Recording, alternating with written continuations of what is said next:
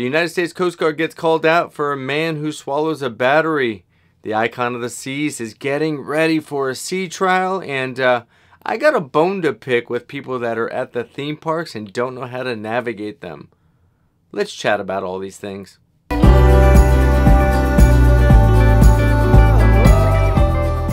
What's going on, Adventure fam? Happy Tuesday. Hope you're doing well. It is game day, Phoenix Suns basketball. Game five tonight in Denver. We're going to take it.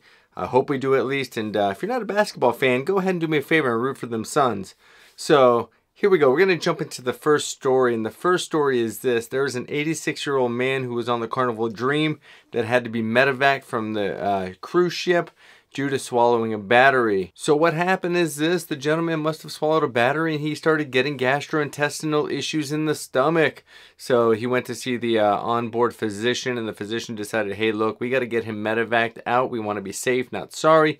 So they called the United States Coast Guard. So it looks like on Saturday around 7.22 p.m. there was an 86-year-old gentleman on board the Carnival Dream who started to have gastrointestinal issues went and saw the onboard physician who deemed that he needed to be medevaced off of the ship. It looks like this all stemmed from a swallowed battery.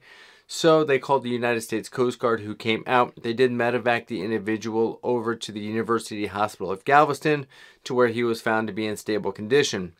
Batteries are no laughing matter. This is exactly why we tell, no, we don't tell. This is exactly why doctors tell, or I guess we do tell our kids to stay away from things. We don't keep batteries because they can actually cause severe burning of the esophagus. So you definitely want to get that checked out if you ever swallow a battery because it could cause death. So it looks like there was an 86 year old man on board the Carnival Dream who needed to be medevac because he swallowed a battery and started to develop gastrointestinal and stomach issues.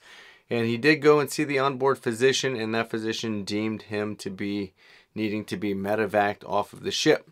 So the Coast Guard was called, and in return, they showed up, and they showed up big. The Coast Guard launched an MH-65 helicopter to come medevac the gentleman off of the ship, and once he was on board, they took him over to the University Hospital of Galveston, where he was admitted in stable condition. Apparently batteries can be really bad for you. They can actually cause severe burning of the esophagus, so you definitely don't want to swallow batteries. This is probably why we tell our kids and we keep batteries away from our kids to make sure that they are not getting anything stuck in them that can be dangerous and fatal. So it does look like this gentleman, though, however, was, um, you know, in stable condition, which is awesome news for the family and also for the gentleman.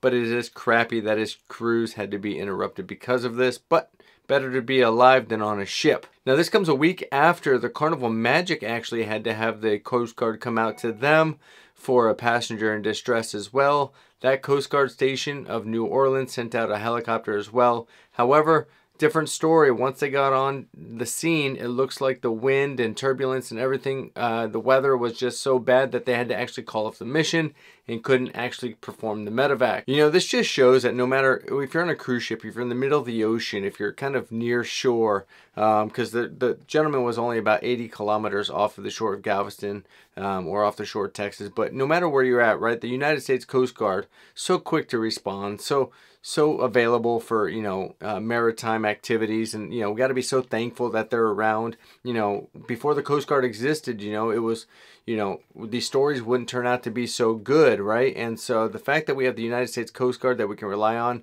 uh, in case of emergency, even though we don't like to, you know, see them have to come out too often, in case of emergency, you definitely want them there, right? And uh, look, I've got a one of my best friends is getting ready to retire from the Coast Guard, and uh, he served over 20 years, and uh, such a such a good guy, and I'm so proud of him, and I'm can't believe he's getting ready to retire, but he joined after high school in 1999, and uh, he's done our country well. So congratulations to you, Mason Bowen, on your Coast Guard uh, career. Um, such an amazing thing. So, um, but yeah, I mean the Coast Guard and every military branch, right? Um, you know, they they do so much for for us in the country. So and that's my spiel. All right, so the Icon of the Seas, they are getting ready to do a sea trial in June and uh, short month away. This means that this is going to be the first time that the Icon of the Seas is going to be sailing away from the dock on its own and without any help. And so we're so excited for the Icon of the Seas. I can't tell you. We've got it right here on our calendars.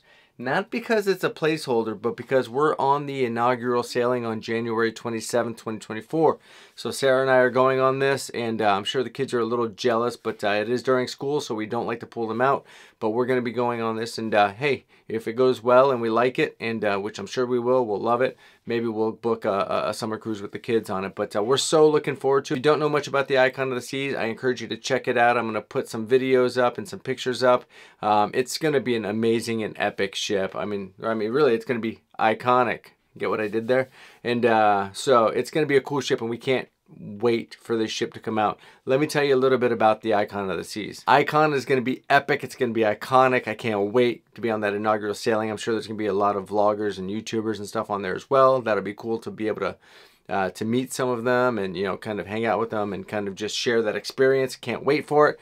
And uh, yeah, it's going to be an so epic. the icon of the season is going to be So 20 total icons decks going with 18 of them being guest uh, decks, first, 2,350 um, crew, sea trial, and if all goes well, they'll do a 2,805 second sea trial in of quarter 7,600 guests, and then maximum, get ready for that seven January pools, nine 27th whirlpools, launch of six record-breaking So slides. Looking forward to that. be and of course, amazing. You guys are coming with us on that as well. So gross um, tons that's going to be epic. 1,198 All right, so let's talk about the elephant long. in the room, and that is my gripe with Disneyland. It's gonna and not feature really with eight Disneyland, different but the people neighborhoods, that go to Disneyland, amazing. theme They got an in indoor general. Sarah and aquadome, the Central Park, which last time we cool, went. chill island, and uh, I got to Royal get your on Promenade, this. Surfside, Let us know. We're we being uh, for dumb families, and Sweet dramatic, Neighborhood, or are you the Hideaway, and of course Thrill so Island we've got a pretty big family, six people, and so when we walk, right, we walk kind of behind each other so we don't take up too much room. But I, I, uh, I, for the life of me, couldn't understand it at Disneyland. These big families, big groups, they were walking side by side, literally taking up half of the road or half of like Main Street or whatever. And you know, you got the traffic coming one way, we're going this way, and to try to get around, and they're walking slow to try to get around. Right now, you're running into the oncoming traffic, so it's kind of a, it was kind of a bummer and kind of a, you know, I couldn't understand why. It's like just get over people. Really, get behind each other. Don't walk side by side. Um, so, what's your take on that? It was really annoying for us, and maybe we're just we don't complain a lot, but we were definitely annoyed by that.